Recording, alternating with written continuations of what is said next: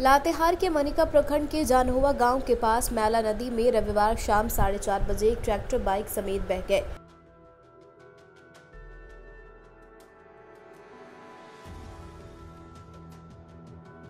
बता दें, ट्रैक्टर चालक जुगल उराव उफंती नदी से किसी तरह जान बचाकर बाहर निकला। उसने बताया कि बारिश होने लगी थी, तभी वह ट्रैक्टर लेकर घर की ओर जाने लगा।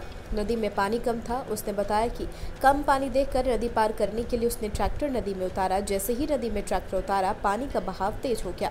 धीरे धीरे पानी ट्रैक्टर के ऊपर चढ़ने लगा। उफनते पानी ने ट्रैक्टर को पूरी तरह से डुबो दिया। चालक ने बताया कि जब ट्रैक्टर पानी में बुरी तरह से डूब गया, तब आनंद फान में जान बचाकर नदी में बाहर निकाला। घटना की सूचना मिलते ही ग्रामीण नदी की तरफ़ दौड़े, तब तक ट्रैक्टर पानी में पूरी तरह से डूब चुका था। ट्रैक्टर की ट्रॉली में बाइक रखा हुआ था। मजदूरों ने जैसे तैसे बाइक को ट्रैक्टर से बाहर निकाला। बताते चले, इससे पहले भी इस नदी में कई लोग बाइक समेत बह चुकी हैं। एक बार सवारी वाहन भी तेज धार में बह चुकी है। ग्रामीणों की मदद से यात्रियों को